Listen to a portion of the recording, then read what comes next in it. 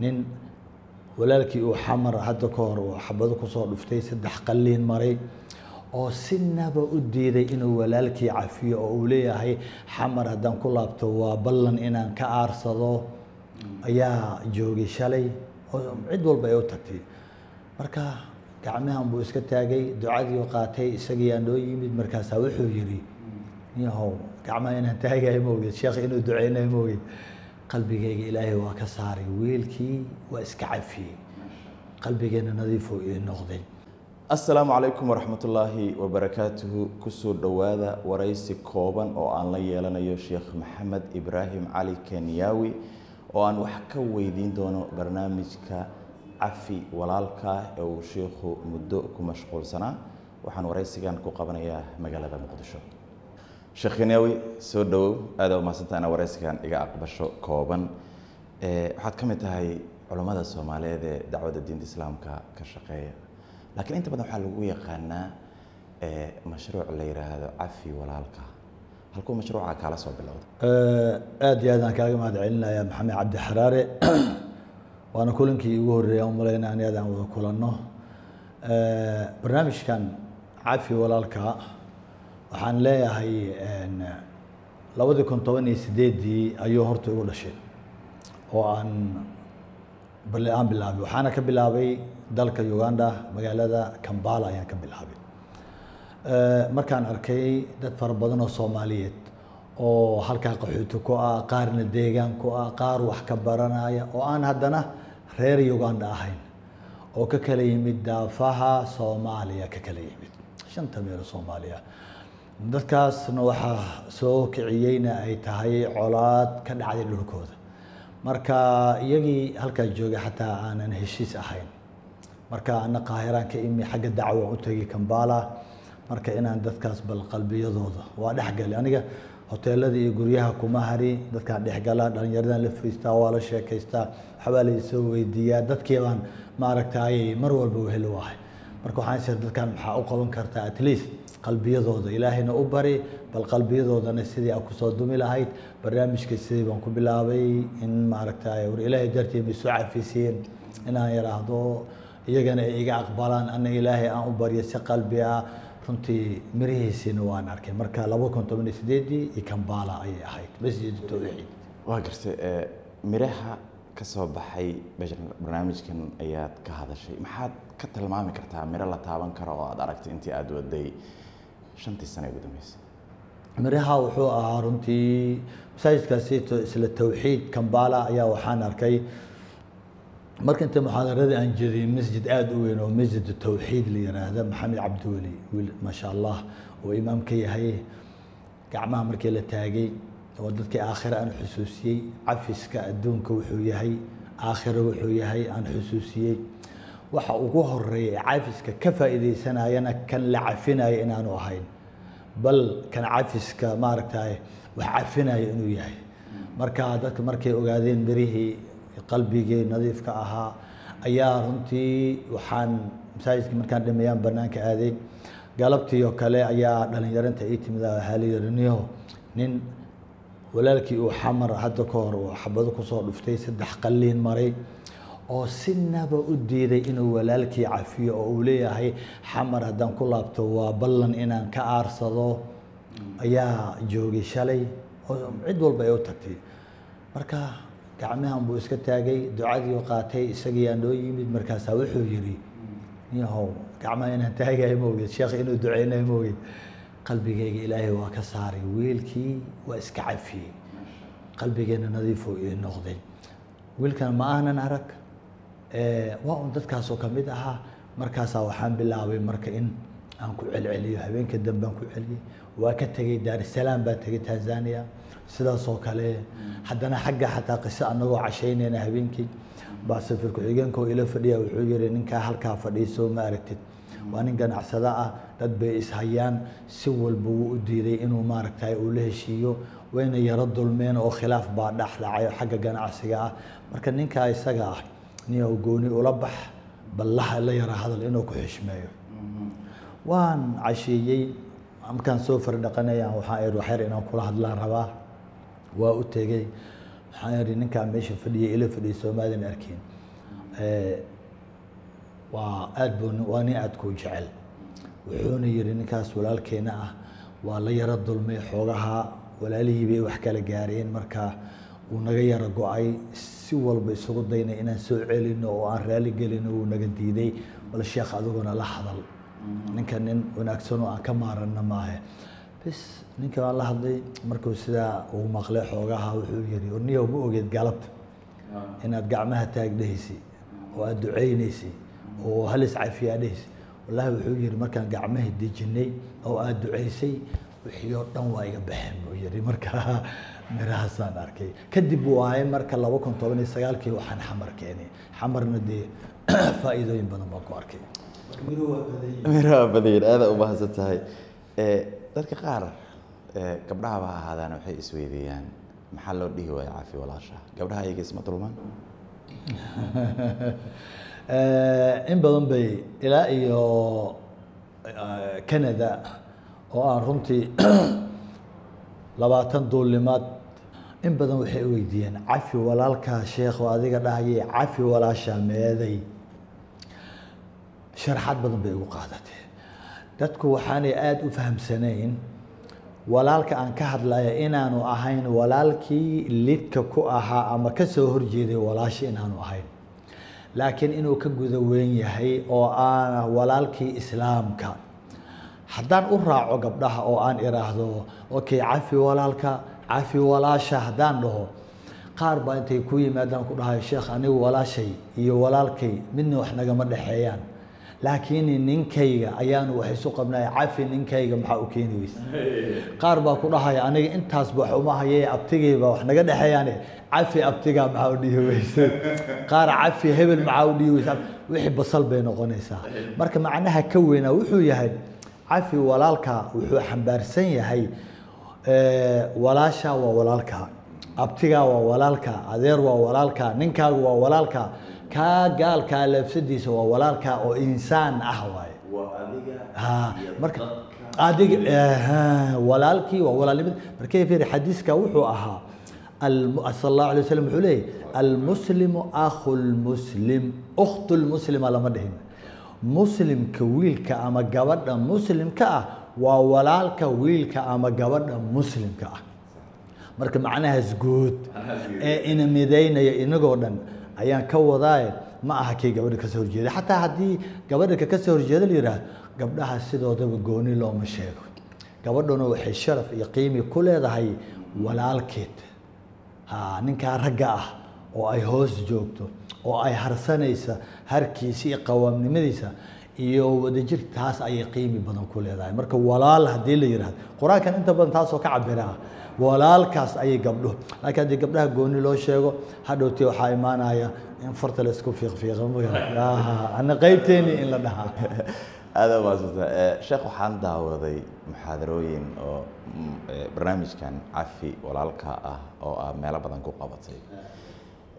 Waxaan arkay dadka sidaa gacmaha u taagaya ee qalbigooda naxariista ka muuqata isbeddelka ka muuqda. Sirta aad dadkaas u sheegto waa maxay si ay because waxaa laga yaabaa qof kale hadduu weydiiyo niyo cafi walaalka ama gabarya cafi walaalka la yidhaahdo inaanay sidaa sahal ku suurtagelin laakiin adiga dad dhan oo joogo meel weynoo maxfal ah iyo kuu suurta gashaa inay gacmaha wada taagaan bal inoo sharax sirta ku jirto. Waxaan aad akhrisa ee bilow ilaa dhammaadle wallaahi sirta ku jirtaa waa dhowr arrimood. Tan ugu weyn waa ikhlaaska wixii waa wax qalbigayga ka imanaya. Afka keli kama hadli laakiin qalbigan ka hadlaa wixii qalbi ka soo baxa ayaa ilaahay qalbi kala geliyaa xabiibkeena sidai ahaan jirta ko waxa sirta labaad qalbiga ka soke waa ilaahay dartii. Ma aha barnaamij ganacsi ah ma aha contract ma aha mashruucan soo qaatay. Maxaa yeelay mashaariicdu bilow iyo dhammaaday leeyihiin waa dhammaanayaan laakiin wixii ilaahay dartii ah ma dhammaadaan ilaahayna waa garab galaa sirta kale waxa waaye in barnaamijkan dadka ay ii arkayaan aniga dee nin iska simbol ah oo aanan sarraynin nin aanan urursanaynin xoolo adduunya aan barnaamijka ku urursanaynin anoo lugeynaya ay arkayaan anoo iska dhar khafiifa watay ay arkayaan fudud anoo waxay arkayaan dadkii dhalinyaradii ku dhex jira? Anoo nolosheedii nolol simbol ah? Anoonan ganacsi iyo daare ka taaganaynin barnaamijkaan oon ka ganacsanaynin inaan iyagii ka mid ahay oo aan la jooga xaalkayga bilow ilaa iyo dhammaad ayay ogyihiin laakiin hadday ii arki lahaayeen barnaamijku inuu mashruuc yahay waan ka maalaysanaya inaan anigii ahay nin maaragtay deeya daara dhisnay business ah waxaasoo dhan waxay dhihi lahaa waxbuu ku urursanaya dadka waa iska taqaanaa marka waana kuu qusilayaan hadhowna gadaasha ay ka hadlayaan marka sirta ugu horeysa waa ikhlaas inuu yahay wixii qalbi ay ka imanayaan. Ilaahay dartii inuu yahay iyagoo xaalkayga dhabta ah dadkii iyagoo la socdo. Waxaanse ku dari karaa aayaddii ahayd udcu ilaa sabiili rabbika bilxikmati walmawcidati alxasana. Ugu yeer baa la yihi xabiibkeena sal slam dadka waxaad ugu yeedhaa sal slam si xikmadaysan xikmad caqligooda kula hadal. Caqligooda kula hadal. Sida ninka madaxda aan ula hadlayo iyo wiilka yar aan ula hadlayo isku mid maaha. Sida gabdhaha aan ula hadlayo sida ragga aan ula hadlayo isku mid maaha. Kan cadowga iyo kan saaxiibka ah waa kala duwan yihiin. Xikmadaa la rabaa. Qof walba darajadiisa iyo mansiladiisa inaan kula hadlo u ixtiraamo iyo mawcida xasana. Mawcida xasanana waxaa waaye dee wacdi wanaagsan oo kitaabkii sunnada ka sugan oo marjic loo laabta leh oo dee qofkii daliishiisii wata oo ilaahayna uu raalli ka yahay oo inaan saas ku wado marka rasuulka waxaa la yihi sal allahu alay wasalam qul ina salaatii wa nusukii wa maxyaaya wa mamaatii lilaahi rabi alcaalamiina laa shariika lah. Yacni salaadayda iyo soonkayga iyo fadhigayga iyo jiifkayga hurdadayda nolosheeda iyo geerideeda intuba ilaahay dartii marka waxa aad dhehaysid iyo waxaad samaynaysid ideelkeed inay noqoto maxay? Sirta ku jirta marka waa taas ilaahayaa markaas wixii aan ma gaarsiin karin. Ani waa sheegi karaa laakiin marka intaas aan kulansado ilaaha gaarsiinaya marka. Waa gartay dalka soomaaliya dulmi badanaa ka dhacay. Aad iyo dad badanaa dhibaatooyin loo geystay waxaan jeclaan lahaa bal inaad noo dul marto faa'iidooyinka cafintu ay leedahay wallaahi lama soo koobi kara cafinta waxaan u doortay horta waa barnaamij aada iyo aada u ballaaran masjid axmed ibni xambal oo ku yaalla magaalada nairobi. Ayaa anigoo habeenka muxaadaraynaya dadkii gacmiha la taagay. Aadna waa loo yimid. Markii gacmihii la taagay baa oo aan duceeyey baan soo baxay nin gara ah ayaa ii yeelay wuxuu yihi wuu yaro ilmeynaya. Qiiraa ka muuqato. Wuxuu yihi sheekh waadna dhaqaajisay. Barnaamijkan aada buu muhiim u yahay. Guri maanta soomaali ay degan tahay oo aanan la isku haysanin ma laha. Ganacsato aan ishaysan male siyaasiyiin aan ishaysan male weliba culimo xataa. Kama cudurkan yani kama marna. Marka wuxuu yihi barnaamijkan soon iyo salaad iyo zakiya xaj iska dhaaf buu yihi culimadaas kale ayaa ka hadasha laakiin kan wuxuu yihi ayaa kaa weyn? Lagugu bartay? Sheekh barnaamijka meel walba la istaag runtii qorshahaygana wuu ahaa aniga waan iga badan yahay waa ogahay. Xataa markay yarahaan war barnaamijka sheekh miyuuna dhammaanayn soo adigii sannadkii hore waday waxaan yidhaahdaa intuu ibliis joogo dadkuna isdulmayaan ilaahay uu inaga fogeynaya waa inaan daba socda aniga. Ha intuu adduunka jiro dulmi ma dhammaana ana gardara haddaysa dhammaanayn waa inaan wadaa. Intaan noolahay marka waa inaan wadaa barnaamijkan runtii meelo badan aan ka dhegeysta hadda adiga. Ii sheegtay meel badan ka faa'iidadiisana waa arkay. Faa'iidadiisa walaalo qofka ugu horreeya ee barnaamijkan cafi walaalkaa ka faa'iidaya waa kan wax cafinaayo waaye. Maaha kan la cafinaayo? Maaha kan yani cafiska laga da waa kan wax cafinaya sidee? Kan wax cafinaya wuxuu leeyahay imaamu shaafici. Wuxuu leeyahay لما عفوت ولم أحقد على أحد أرحت نفسي من هم العداو من هم العداوات يعني أرحت لما عفوت markii aan cafiyey walaalkay kii i dulmay kii i gooyey kii i fogeeyey kii igu gardarooday kii i dhacay kii i caayey kii markaan cafiyo araxtu nafsii يعني لما عفوت أو ولم أحقد على أحد oo aanan cidna cuqdad u qaadin. Intaasoo dhan oo wax ii dhimay aanan midna cuqdo laabtaydii u qaadin. Araxtu nafsii waxaa nafsadaydii uga raaxeeyey oo aan uga nafisiiyey min hami alcadaawaati yacni hamigii iyo culayskii aan cadaawad ku qaadi lahaa haa. Maxaa yeelay marka lagu dulmo oo ama cirdigaaga ama wax lagu dhimo oo qalbigii aad gelisid col aad u gelisid xataa salaadaada waad dagaalamaysaa allahu akbar aad leedahay wadaadku wuxuu akrinaya xataa maqlaysid marka uurkaaga ninkiibaad isdagaalaysaan kan aad leedahay wixiiba ibliiska ku xusuusinaya salaadii maxaad tukatay ma kala taqaanid? Markaad laamiga socotid mootooyinkii bajaajtii baabuurta iyo dadkaaba kugu dhacayaba maxaa yeelay waa hadlaysaa keligaa ninkii baa la dagaalamay uurkaagii baa kaa weyn wixii baa ku rogaya waxaa laga yaabaa reerkii aad saaka ka soo tagtay iyo gabadhii aad soo dhunkatay ilmihii aad aaba bay bay aad dhahday oo aad ku laabatay weji kale ugu laabanaysaa. Adoon dulqaadan karin gabadhii marka kan aa ku dhufatid tan aa tan aa riixdid islaantiina anagaamo aad dhahd le war maxaa kugu dhacay saaka adoo fiyo baa tegey. Ileen colaada inta ma cid kalaad u haysaa. Laakiin qalbigaaga marka xataa ma seexanaysta habeenkii? Waad rogmanaysaa marka waxaa laga yaabaaba inuu dhiikar kugu dhaco bareshar kugu dhaco paralyze noqoto maskaxda ku qaraxdo. Yacni waxaasoo dhan bay diinta marka maadaama ay ku ilaalinaysa diinta naseexa ay tahay ilaahay ku jecel yahay baa wuxuu rabaa waxaasoo dhan qalbigaaga inaad ka bixisid. Xataa fiiri si aad qalbigaaga uga saartid oo aad u nadiifisid adduun aad u nabadgeshid ayaa weliba waxaa lagugu tirtirsiiyey waxaa lagu yidhi jannadii baabad gelaysaaba. Qofkii seexday isagoo qalbigiisa nadiif ah ilaahay janno u ballan qaaday oo wuxuu kaloo leeyahay wasaaricuu u soo degdega ilaa makfirati min rabbikum wajannatin carduha asamaawaatu waalardu uciddat lilmuttaqiin yacni janno dembi dhaaf iyo janno cirka iyo dhulalka ka weyn. Adduunka mataqaanaa waa toddobada ceer iyo toddobada dhul waay. Ee inta ku jirta adduun la yihahdaa maxaa yeele hadhow waa la bedelayaa waxaan dhan. Kuwo kalea la keenaa. Intaasoo dhan janno la eg iyo dembi dhaaf waa labada ugu fiican. U degdega yaa iskale mutaqiinta waa kuwe waalkaadimiina alghayd waalcaafiina can innaas wallahu yuxibu lmuxsiniin kuwa marka la dhibaato geliyo la gooyo laga caraysiyo lagu gardaroodo la dhaco la dilo la kuwa caradooda qarsada waad caroonaysaa adi insaana tahay laakiin caradii waa qarinayaan. Kuma ekaanayaane kii sidaa kuu galay ku caraysiiyey caradii markaad ka qarisid ayaad haddana walcaafiina can innaas haddana ilaahay dartii baan kuu cafiyey. Wax la heli kara male.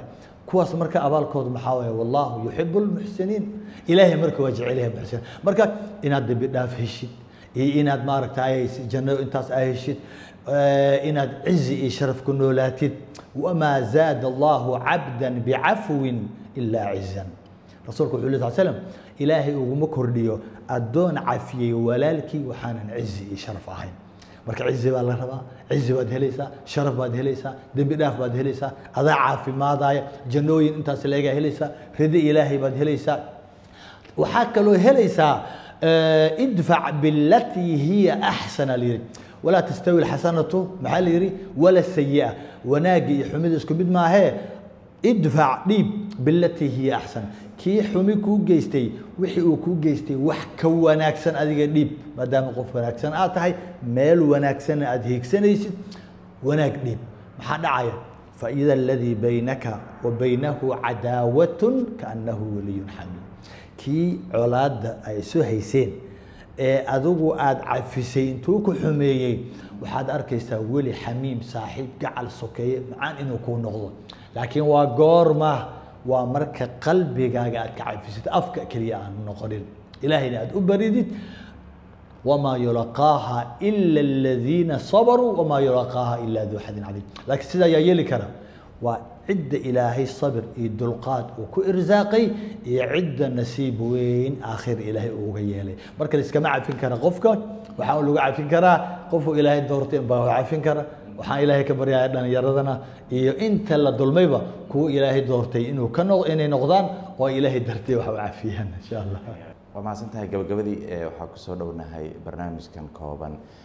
Dardaaran sidee ah baad siin lahayd dhallinyarada soomaaliyeed ee aada inta badan la hadasho ee ku saabsan cafinta waxaan siin lahaa hadda waxaan ka hadalay ciddii la dulmay ee wax cafinaysay oo aan ku tirtirsiinayo kuna dhiirigelinayo laabtooda inay xaaraan maadaama faa'iidadaa faraha badan ay ka helayaan. Ibliiskuna aanan ogoleen faa'iidada ilaa ibliiska waxaasoo dhan nooma ogola. Ibliiska shaqadiisa waa kala tag waa caro waa cudur waa nacayb waa xiqdi waa xasad waa xumaan oo dhan. Ilaahayna waxaasoo dhan buu noo diidayaa marka markaad xataa aarsatid adiga waa lagu ogolyahay aarsiga. Oo haddii iliga lagaa rido ilig inaad ridid waa lagu ogolyahay. Laakiin ma waxbaad ka faa'iideysaa walaalka oo iligla iyo adigoo iligla waa laba walaaloo bulshadii ilka la'aan ah. Il baa lagaa riday waxaa tiri maya waa inaa aarsadaa ilaahay ii ogolo ibliiskana aarsuu ku leeyay ishii baad ka riday ishaada kuuma soo noqonays walaalkaana waa ili tirtay cuqdadna waa dhalanaysaa. Marka aayadda xikmadda fiiri. Wajazaau sayi'atin sayi'atu miluhaa xumi haddii lagu geysta u geyso. Laakiin taas ilaahay adugu kugu qabkaagii ayuu qiimeynaya oo u qadarinaya. Laakiin wax ka wanaagsan buu kuu sheegayaa is-ilaaliya lagu leeyahay adiga faman cafaa waaslaxa faajruhu cala allah. Lakiin markaa cafaysa oo wixii isaga hataa wuu baqayaa uurkiisa murugasho ama lagaa arsada u leeyahy aada wixii hagaajiso aada cafisato u dhool cadaysado aada haagaraysado u ducaysado faajruhu cala allah. Waxaa kaloo la wain caaqabtum facaaqibuu bimili maa cuuqibtum bihi. Haddii wax laydin dhimo u dhima idinkuna hadba intii laydin dhimay laakiin maxaa la raaciyey walain sabartum lahuwa khayru liلsaabiriin wاصbir wamaa sabruka ila biاllah inaad dulqaadataan oo aad sabirtaana idiin wanaagsan ee sabra sabirkiina iyo faa'iidada allah idin siinayo soo ma garan marka waxaasoo dhan ibliiska marka ma ogola laakiin mar walba ibliiska inaan raacin khudwaadkiisaa la inaan la dagaalanno oo danaheena aan fiirsano oo aanan isaga u danaynin ayaa muhiim noo ah. Marka dhalinyaradu waxaan dhahayaa ugu dambeyntii keliya ma aha inaad idinku cafisaane haddaan xataa wax laydiin dhimin intaad weliba wax cafisaan ayaa waxaan leeyahay dariska waa isdagaala dadka waa isdagaalaan walaalaa isdagaalay bulshada aad la degan tihiin colaad baa dhex taalle ducaad noqda oo gaarsiiya idinkayaana idinku ekaanin. Maxaa yeelay rasuulka wuxuu leeyahay xadiiskaana ku gabagabaynayahay sala allahu calayhi wasalam abu ayuub oo ahaa reebtayaalkii. Mid ka mid a oo dadka madiine ku soo dhoweeyey. Inuu aada u jecel yahay.